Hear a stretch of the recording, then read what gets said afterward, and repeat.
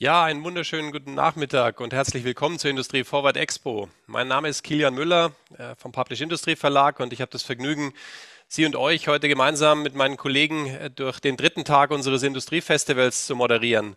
Die nächste Session hat ähm, die, das Thema Verbindungstechnik schaffen für die technologischen Megatrends. Und ich begrüße als Speaker ganz herzlich Kurt Bettenhausen von Harting. Hallo, Herr Bettenhausen. Hallo, Herr Müller. Nun, nochmal vielen Dank, Herr Müller. Ja, herzlich willkommen. Einen schönen Nachmittag an alle, die jetzt noch dabei sind. Ähm, lassen Sie sich in den nächsten etwa 20 Minuten auf eine kleine Reise mitnehmen von mir. Und was möchte ich, dass Sie am Ende dieser Reise als Erinnerung mitnehmen für sich? Das ist relativ einfach formuliert. Ich bin sicher, dass wir noch viel stärker in der Zukunft als bisher sehen werden, dass gesellschaftliche Megatrends extrem wichtig sind, weil sie beschreiben und definieren, wie wir alle in der Zukunft leben wollen. Und aus diesen gesellschaftlichen Megatrends lassen sich Technologie-Megatrends ableiten. Die werden am Ende des Tages definieren, leiten und auch in irgendeiner Art und aus, auswählen, wie unsere Gesellschaft in, in Zukunft mit den gesellschaftlichen Herausforderungen umgehen wird. Und am Ende des Tages ist es so, dass Firmen, die damit angemessen umgehen, die sich damit beschäftigen, die Antworten, die Produkte, die Services und Lösungen bereitstellen, die auf die Megatrends in der Gesellschaft antworten, über den Weg der Technik unser aller Leben besser machen. Das heißt, wenn der Herr Müller gerade eben in der Einleitung gesagt hat, äh, ich nehme Sie mit in meine Welt, naja, und ich gehe mit Ihnen zusammen gemeinsam dann auch zurück in, in Ihre Welt. Wenn wir mal auf die gesellschaftlichen Megatrends draufschauen und uns auf die fokussieren, von denen wir bei Harting denken, dass sie besonders wichtig sind, dann möchte ich gerne mit Nachhaltigkeit beginnen. Nachhaltigkeit, auch noch mit einem kleinen passenden Bild hinterlegt, definiert am Ende des Tages ja, wie wir alle mit unserer Umwelt umgehen. Und das bedeutet am Ende des Tages eben auch, dass wir über den Verbrauch an natürlichen Ressourcen reden egal ob das jetzt nur in Anführungszeichen das erstellte Produkt ist oder auch die dynamische Verwendung von Ressourcen. Was setze ich ein? Wie oft verwende ich es wieder? Wie stark kann ich mich auch am Ende bei den technologischen Megatrends in der Entsprechung von Systemen dabei unterstützen lassen, verantwortlich mit der Umwelt umzugehen? Der zweite Megatrend, da sehen Sie mich schon vorweg schmunzeln bei dem Bild, das gleich kommt, ich nehme mal die Aussage von allen mit, wir alle wollen älter werden, aber keiner will alt sein. Und das trifft für sicherlich viele auch hier im Auditorium, im virtuellen Auditorium mit zu. Aber es wird ein Zeitpunkt kommen, an dem wir nicht mehr all das, was wir gerne tun wollen, auch werden tun können. Und wer sich die Zahlen genau anschaut, das ist vorhersagbar. Das ist in irgendeiner Art und Weise eben auch vorherrechenbar. Wir alle werden vermutlich nicht mehr die persönliche Unterstützung bekommen können, die wir benötigen werden. Und auch darauf gilt es, Antworten zu finden. Schauen wir uns den letzten gesellschaftlichen Megatrend an, der uns gerade im Moment ja doch sehr stark beschäftigt. Alles, was in Richtung Globalisierung oder auch Deglobalisierung geht. Nehmen Sie sich mal die beiden Enden von diesem Netz, wenn Sie ganz rechts, ganz links anfassen an dieser Stelle und dann mal versuchen, durch Zusammenschieben und Auseinanderziehen dieses Netz ein bisschen zu strecken. Da ist Dynamik drin. Egal wie stabil unsere Produktions- und Lieferketten sind, sie verändern sich trotzdem tagtäglich dynamisch. Und auch das wird stark von der Gesellschaft durch Kaufverhalten, durch Kaufanreize, durch das Gegenteil davon entsprechend dynamisch beeinflusst. Jetzt schauen wir uns mal an, was das auf der Seite der Technologien an Folgen hat. Ich möchte mal beginnen mit dem Begriff der Modularität und auch hier ein Bild verwenden, von dem Sie alle sagen, Mai, Modularität kenne ich, das ist ein uralter Hut, das haben wir doch eigentlich alles schon. Das ist etwa so wie der Legostein. Den kennen wir auch alle. Also ich kann mich nicht an eine Welt ohne Legosteine oder vergleichbare Bausteine erinnern. Trotzdem gibt es auch hier immer noch weitere Möglichkeiten, das zu vertiefen. Ein modulares Design erlaubt mir an dieser Stelle eben auch Dinge auszutauschen und nicht gleich all das, was ich gemeinsam in einem Verbund betreibe, benutze, verwende, wegzuwerfen, Von uns käme ja auch niemand auf die Idee, ein ganzes Auto wegzuwerfen, nur weil die Reifen abgefahren sind. Und dieses Prinzip der Modularität auch zur Leistungssteigerung, zum Leistungserhalt, das lässt sich sicherlich noch viel, viel weiter treiben, als wir das heute kennen. Der zweite Bestandteil, der einzahlt sowohl auf den demografischen Wandel als am Ende des Tages auch auf die Performance, ist Autonomie. Autonomie von technischen Systemen, die uns Entscheidungen abnehmen, die wir vielleicht gar nicht fällen können, weil sie extrem schnell gefordert werden, zu schnell für einen Menschen. Wer an das Load Balancing in heutigen Netzwerkarchitekturen denkt, egal ob das jetzt Daten, Signale oder Energie ist, der stellt relativ flott fest, dass wir am Schalter gar nicht so schnell sein können wie ein entsprechendes System. Es geht aber auch darum, wenn wir in Richtung demografischen Wandel denken, darüber nochmal gezielt nachzudenken, wer gibt uns denn die Unterstützung, wenn es ein Mensch nicht sein kann? Und da kommen nur Systeme in Frage, die sich auch im Rahmen eines definierten Kontexts halbwegs selbstständig bewegen können. Seien das Kraftfahrzeuge, die ich eben auch noch mit 85 betreten kann und die mich wohin bringen im Rahmen integrierter Mobilitätskonzepte oder seien es Service-Roboter, die mir gestatten, viel länger zu Hause zu bleiben, auch wenn ich persönlich vielleicht schon mit körperlichen Einschränkungen zu kämpfen habe. Das Auto, immer wieder gern gesehen als Visualisierung an dieser Stelle. Ich habe es leider ehrlich gesagt nicht rechtzeitig geschafft, ein freigegebenes Bild zu bekommen. Aber wer sich den, den aktuellen Mars-Roboter anschaut und da so ein bisschen die, die Livestreams oder auch die aufgezeichneten Bilder der NASA verfolgt, der weiß sehr wohl, wo das hingeht. Und damit diese Autonomie auch wirklich greifen kann, brauchen wir digitale Zwillinge. Digitale Zwillinge sind für mich genauso stufenmäßig ausgeprägt, wie das ein automatisiertes Fahren ist, bei dem eben auch erst die Stufe 5 definiert, dass ein Fahrzeug voll autonom unterwegs ist. Beim digitalen Zwilling ist das genauso. Wir kennen Zeichnungen, die wir heutzutage digital verwalten.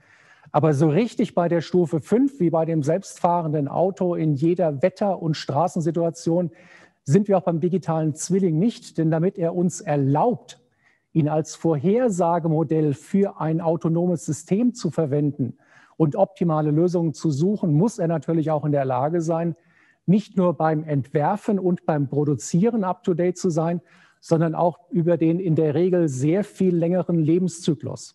Sei das ein Produkt, sei das eine Anlage, all das altert, all das verändert sich, das wird umgebaut, angebaut. Wer jemals im Anlagenbau Rotstiftexemplare auf Zeichnungen gesehen hat, weiß ziemlich genau, von was ich rede an dieser Stelle. Und nur wenn diese Vorhersagegenauigkeit über den digitalen Zwilling ausreichend gut ist, also das Ganze wirklich so aussieht, wie es hier dargestellt ist, nur dann sind wir auch in der Lage, richtig vernünftig mit autonomen Systemen umzugehen. Denn alleine die Realzeitinformation aus Umgebungssensoren, die wird es nicht sein. Und damit kommen wir zu der Grundlage der Konnektivität der Zukunft, etwas, das wir bei Harting gerne als Connectivity Plus bezeichnen und genauso angeordnet an dieser Stelle. Und welche Technologien, die wir konkret daraus ableiten, erlauben es uns denn jetzt auf diese technologischen und gesellschaftlichen Megatrends Antworten zu geben? Da ist zum einen mal DC Industry etwas, das wir in einem Partnernetzwerk auch in einer sehr frühen Stufe betreiben. Und Sie sehen das hier schon, wer jemals in der Elektrotechnik seine Verteilungen gesehen hat in der Vergangenheit. Das europäische Verbundnetz mit zentraler Energieerzeugung und Verteilung sternförmig und dann entsprechend ausgependelt.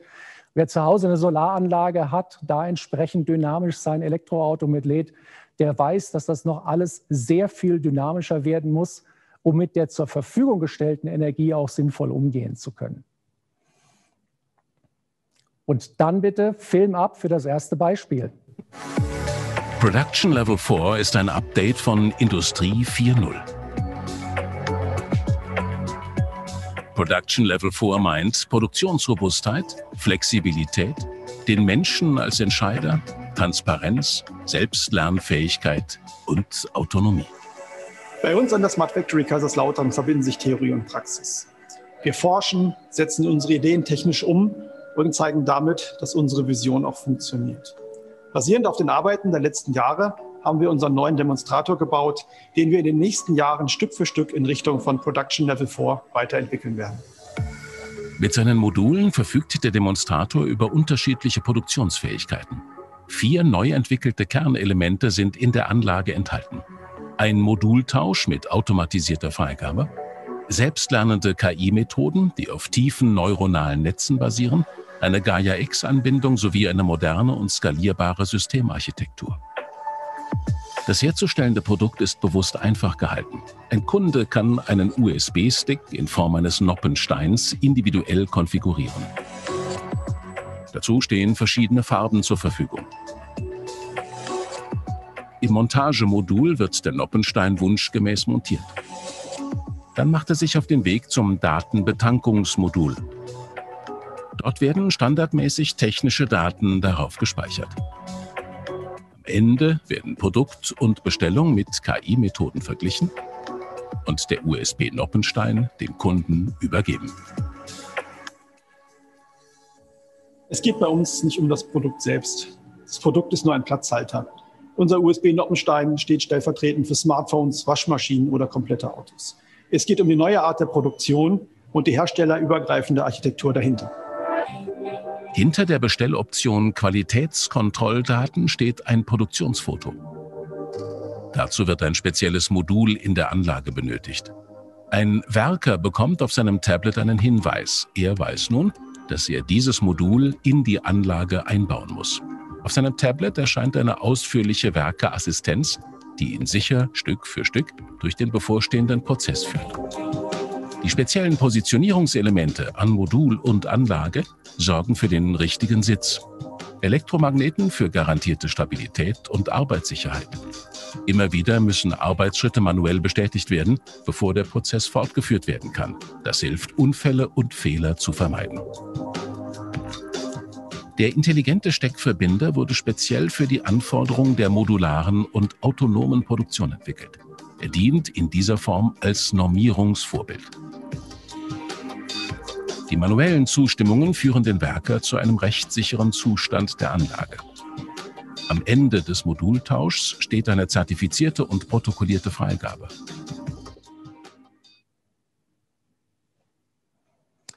So, ich hoffe, das hat Ihnen einen guten Einblick darin gegeben, wie das Thema Modularität mit Autonomie zusammenspielt. Und ich möchte jetzt gerade von dem Themengebiet der DC Industry weggehen auf die Elektromobilität. Auch hier sind wir in der Situation drin, dass wir natürlich alle live miterleben, wie das letzte Jahr unser Kaufverhalten in Deutschland schlicht und ergreifend beeinflusst hat. Die Absatzzahlen im Bereich Elektromobilität sind so hoch wie nie zuvor. Wir setzen stark noch auf individuelle Mobilität mit dem Auto an dieser Stelle. Aber wir sind natürlich am Ende des Tages unter dem Nachhaltigkeitsgesichtspunkt auch gezwungen, vermehrt sehr viel stärker als heute über integrierte Verkehrskonzepte nachzudenken. Und da kommt selbstverständlich auch dem Themengebiet der Bahnverbindungen eine weitere zunehmende und steigende Bedeutung zu. Film ab, bitte. Wenn Sie sich anschauen, wie wir hier in diesem Kontext mit äh, neuen Lösungen in der Lage sind, modulare Bauformen von Zügen zu unterstützen, wie wir Daten und Energie über den gesamten Zug verteilen können in einer sicheren Form, die am Ende des Tages eben auch erlaubt, nur diese Zugmodule fahren zu lassen, die wir tatsächlich brauchen, demand gesteuert über entsprechende Prädiktionsalgorithmen vorzugehen, dann sind wir schlagartig in der Lage, sehr viel bequemer als heute und auch sehr viel umweltbewusster zu reisen und das nicht alles auf unsere Individualmobilität in einem einzigen uns gehörenden Fahrzeug abzustimmen. Kommen wir zum nächsten Punkt. Etwas, das in alle Themenbereiche einzahlt. Und da ist als Beispiel das Single Pair Ethernet genannt. Wir müssen, damit all das funktionieren kann, was wir miteinander austauschen wollen, dafür sorgen, dass wir in einer heute schon existierenden Welt, zum Teil mit heute bereits fest installierten Verkabelungen, mehr Daten, mehr Informationen über die Leitungen bekommen, aufwandsminimal. Und es bringt ja am Ende des Tages nichts, wenn ich das Kupfer zwar beim Auto einspare, anschließend aber in Datenleitungen entsprechend einsetze. Das heißt, wir müssen uns auch hier Gedanken darüber machen, wie wir mit intelligenten Systemen in die Zukunft kommen, die den Anforderungen des Datenhaushalts genügen und trotzdem in der Lage sind, steigende Funktionalität mitzubringen. Und da möchte ich an dieser Stelle einfach nur kurz auf das Thema Single Pair Ethernet und das entsprechende Partnernetzwerk verweisen. Vor allen Dingen aber auch zum Schluss meines Vortrags auf den Beitrag von meinem Kollegen Ralf Klein. Sie sehen das hier nochmal im Groß, 2. März, 16 bis 16.30 Uhr. Und damit bin ich am Ende meines Vortrags angekommen und freue mich auf Ihre Fragen. Legen Sie los. So, vielen Dank, Herr Bettenhausen. Jetzt haben wir uns wieder zusammengeschaltet. Ähm, das sind ein paar spannende Ausblicke, glaube ich, ähm, sagen zu dürfen auf, auf die Welt, die uns erwartet. Ähm, das ist äh, eine Veränderung, die uns gesellschaftlich treibt. Sie haben ein paar gute Stichworte genannt. Das sind aber Veränderungen, die uns natürlich auch in der Produktionswelt treiben. Ähm, da gibt es ganz unterschiedliche Aspekte, über die man wahrscheinlich sehr lange diskutieren kann. Ähm, das ganze Thema Nachhaltigkeit, Sie hatten es gestriffen, ändert Verbraucherverhalten, ändert sicherlich auch ein Lösungsangebot, was geschaffen werden muss. Äh, spannend ist, äh, dass der Verstromung äh, hier ein großer Schwerpunkt zukommt. Das ist jetzt natürlich für ein Unternehmen Harting gar nicht so schlecht, das eigentlich davon lebt, zu verstromen, oder? Naja, Herr Müller, ich greife das mal auf. Als ich äh, 1985 an der damals noch TH Darmstadt angefangen habe zu studieren als Elektrotechniker, da haben meine Maschinenbaukollegen immer gesagt, das braucht kein Mensch. Wenn ich mir anschaue, was in den letzten 20 Jahren passiert ist, dreht sich das gerade ein bisschen rum. Und äh, das ist natürlich auch ganz nett, selbst persönlich als jemand, der mit der Materie intensiv vertraut ist, zu erfahren, dass diese Elektrifizierung weiter fortschreitet. Es ist am Ende etwas, ich vermute, viele von Ihnen haben schon mal ein Elektroauto benutzt oder haben sogar eins zu Hause vor der Tür stehen. Also die Drehzahl-Drehmomentkurve, die macht schon Spaß und warm fahren muss ich es auch nicht. Ja. Wenn ich mir anschaue, wie viele Kilometer ich mit einem konventionellen Verbrennungsmotor oder gar einem Diesel fahren muss, um auf Betriebstemperatur zu kommen, mein Elektroauto sagt einfach, jetzt geht's. Ja. Also ich bin sicher, die Elektrifizierung wird weiter voranschreiten, eben gerade auch, weil sie auf Knopfdruck ein- und ausschaltbar ist. Spannend war auch zu sehen, ähm, Sie hatten das am Beispiel der Züge, glaube ich, ganz gut erläutert, gerade, dass eben Verbindungstechnik an der Stelle auch nicht mehr einfach nur ein Kabel und irgendwie zwei Stecker sind. Ne? Also das, das, wo man mal herkommt, dass man eine, eine, sichere Steckverbindung baut, die irgendwie robust ist, hat sich mittlerweile in hochtechnologische Lösungen äh, verändert, äh, die auch je nach Anwendung äh, zum Teil sehr trickreich sind. Naja, und es bleibt gerade in diesem, diesem Grenzbereich, und wir reden hier konkret über Elektromechanik, also die Verbindung von ein bisschen Maschinenbau und ein bisschen Elektrotechnik, wenn Sie so wollen. Wir reden natürlich auch darüber, dass wir extrem lange Standzeiten haben. Und so ein Zug, der mit hoher Geschwindigkeit durch die Lande reist, der wird ja Belastungen ausgesetzt, die wir üblicherweise bei etwas, was wir hinter unserer Wand zu Hause verstecken, nicht erleben, in, in Bezug auf die Anforderungen an die Verbindungstechnik die erleben wir dann nur als Reisende, wenn es mal wieder nicht funktioniert. Mhm. Ähm, gleichzeitig gehört dazu, dass wir es natürlich auch nicht, wenn es mal im Feld ausgerollt ist, so leicht zurückrufen können wie eine App. Wenn ich als App-Programmierer heute einen Fehler mache, dann schicke ich Ihnen morgen den nächsten Patch und wenn das richtig eingestellt ist, mhm. dann ist der auf Ihrem Smartphone über Nacht automatisch installiert. Ähm, wenn Sie es nicht können oder nicht dürfen, weil die Spannungs- und, Strombereiche jenseits dessen sind, was wir als Privatpersonen üblicherweise dürfen, äh, dann muss da schon ein Techniker kommen, da muss jemand zum Austauschen kommen, da muss tatsächlich was gefixt werden. Und am Ende des Tages, ähm, wir haben das meine Großeltern mal ganz, ganz früh formuliert, wir sind zu arm, um billig zu kaufen. Das heißt, Qualität zahlt sich ja hier gerade über lange Laufzeiten aus. Oder auch wer, wer billig kauft, kauft zweimal. So habe ich den Spruch auch mal gelernt, ja. Aber es ist jetzt äh, in der Meinung das gleiche. Äh, anderer Aspekt nochmal vielleicht. Ähm, Sie sind ja auch lange in den USA gewesen und kennen die dortige Kultur und auch natürlich die dortige Industrie sehr gut. Sie, Sie waren in der ganzen Welt ähm, sind jetzt bei Harting natürlich in einem deutschen Mittelstandsunternehmen, großer Mittelstand. Ähm, mittlerweile ist dieser große Mittelstand auch in der Breite, wenn man mal guckt, neben Harting, es gibt hervorragende Unternehmen mittlerweile, die, die groß geworden sind, die in der Welt Weltmarktführerschaft erreicht haben.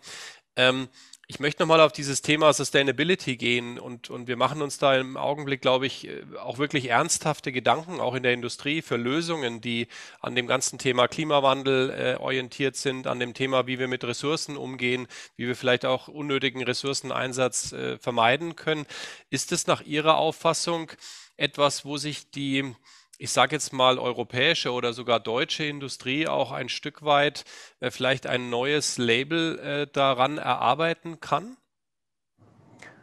Das können wir auf jeden Fall, wenn wir akzeptieren, dass die Geschwindigkeit nicht von uns gemacht wird, mhm. sondern die Geschwindigkeit vom Verbraucherverhalten abhängt. Sie haben das selbst gesagt. Natürlich beeinflussen Angebote Verbraucherverhalten. Aber wenn ich mir meine heute 22 und 24 Jahre alten Kinder anschaue, ähm, die haben schon ein Verhalten an den Tag gelegt, wo sie gezielt auch sagen, nein, das will ich nicht. Ich mache ein konkretes Beispiel. Wir machen sehr viel Sport zu Hause, wir trinken sehr viel Wasser. Und äh, am Ende des Tages sagte unsere Tochter mal, ich bin es jetzt leid, hier kommen keine Trinkwasserflaschen mehr ins Haus. Hier kriegt jeder eine Flasche und macht euch Gedanken darüber, wie wir mit einer vernünftigen Wasserbar umgehen können. Ähm, wenn ich mir anschaue, also es war schon so, so ein Dritt vors Schienbein, denkt mal über was anderes nach. Und äh, das sehen wir ja in, in, vielen anderen Bereichen auch, teilweise sogar verbunden mit einem bewussten Verzicht auf Konsum. Nicht flächendeckend, ja, nicht, nicht falsch verstehen, aber da ändern sich ja Verhaltensmuster, die uns, die wir schon darüber nachdenken, auch noch ermuntern, in diese Richtung weiterzugehen, weiter Ansätze zu finden, die das auch entsprechend unterstützen können. Und ich meine, wir kennen alle die, die Hochrechnungen, wenn jeder Bewohner auf diesem Planeten so viel konsumieren würde, und jetzt nehme ich nur wie ein durchschnittlicher Europäer. Das heißt, ich nehme noch nicht mal eine bestimmte Nation, die noch ein Vielfaches davon konsumiert, mhm. ähm, dann ist die, die Restlaufzeit unseres Planeten einfach begrenzt. Mhm. Und ist das für ein, ein Technologieunternehmen, ich sage jetzt mal am Beispiel Harting, aber es gibt ja tatsächlich daneben sehr gut vergleichbar auch noch andere Unternehmen, ist es schwierig, äh, heute diese Entwicklungen voraus äh, zu erkennen, weil die Generation, die nachwächst, sich, äh, Sie haben es gerade so schön am Beispiel Ihrer Tochter beschrieben, tatsächlich ja auch anders verhält, weil sie anders groß wird, weil sie mit anderen Werten groß wird und weil wir diese Werte auch als Technologen und technologisch getriebene Unternehmen erst verstehen müssen? Na jetzt, jetzt paare ich das mal ein bisschen mit ein wenig Unternehmergehen. Also Unternehmer haben ja schon so lange, wie es gilt und hier bei Harting seit, seit 75 Jahren, wir haben letztes Jahr Jubiläum gefeiert, darüber nachgedacht, was will der Markt von mir? Und die Unternehmen, die Sie angesprochen haben, Herr Müller, die sind ja deswegen groß geworden, weil sie besonders gut zugehört haben. Das bedeutet am Ende des Tages aber eben auch, dass wir jetzt genau das wiederholen müssen. Das ist ja gar nicht so unterschiedlich. Natürlich sind die Inhalte anders, aber das, das Zuhören, wo geht's hin, das ist schon extrem wichtig und daraus die richtigen Entscheidungen ableiten. Und wenn man sich nicht nur auf die kurzfristige Optimierung im Heute, Jetzt und Hier besinnt, sondern das tut, ohne das große Bild aus den Augen zu verlieren, dann ist das auch in Zukunft noch ein erfolgreiches und äh, extrem gut weiter wachsendes Geschäft. Ja, das ist schön, dass Sie das sagen, weil darum geht es mir auch ein bisschen, das nochmal als Aussage in den Raum zu bringen, äh, dieses Zuhören können, äh, dieses quasi nicht nur entlang einer Entwicklungsroadmap weiterentwickeln, sondern gerade jetzt in den Zeiten, in denen gerade so viel in Bewegung ist, äh, äh wirklich nochmal neu zuhören können. Ist, glaube ich, ein ganz essentieller Erfolgsfaktor für die jetzt anstehende auch Zukunftsentwicklung und Zukunftsfähigkeit unserer Unternehmen hier im Standort. Ja, und vor allen Dingen auch schnell nachzuregeln. Also der, der eine oder andere im Auditorium weiß, dass ich gelernter Regelungstechniker bin. Ich lebe von geschlossenen Wirkkreisläufen mit Sensorik und, und Aktorik. Und etwas anderes ist ganz, ganz plakativ gesprochen, Unternehmensführung ja auch nicht. Ja? Mhm. Etwas tun, messen, wie das ankommt, rückführen, daraus lernen und dann entsprechend nachregeln, wenn das erforderlich ist. Mhm. Ein anderer Aspekt vielleicht noch in dem Zusammenhang, Sie hatten auch angesprochen Single Pair Ethernet und äh, das Partnernetzwerk um Single Pair Ethernet, ähm, was ja auch gerade wirklich äh, am Wachsen ist und wo man sieht, wie partnerschaftliches Zusammenarbeiten funktioniert. Das ist ja für die DNA der typisch mittelständisch-deutschen Industrie nicht noch oder noch nicht so ganz gewohnt, dieses Zusammenarbeiten in Partnernetzwerken. Ähm, was können wir tun, um das zu beschleunigen, zu verstärken, zu verbessern? Naja, da gibt es ja schon seit weit über 100 Jahren entsprechende Gremien, die einem dabei helfen im Bereich der Standardisierung, Normierung, gerade im, im vorwettbewerblichen Bereich dafür zu sorgen, dass ein 230 Volt Stecker auch in eine 230 Volt Steckdose passt. Das ist, glaube ich, das neutralste Beispiel, das ich hier in diesem Kreis finden kann. Und wenn wir darauf achten, dass wir uns an diese guten Regeln der transparenten Zusammenarbeit im vorwettbewerblichen Bereich wieder alle miteinander erinnern und uns nicht in einem Mikrokosmos versuchen zu differenzieren, dann können wir hinterher unsere Stärken im Wettbewerb brutal darin ausleben, um die besseren Produkte zu streiten. Mhm. Und äh, genau darum geht es ja am Ende des Tages tatsächlich. Mhm. Single Pair Ethernet ist eine, eine, neue Technologie und die muss ja erstmal die Anwender überzeugen. Die Anwender müssen sich erstmal dafür entscheiden. Die müssen Investitionssicherheit sehen, damit sie diesen Weg auch mitgehen.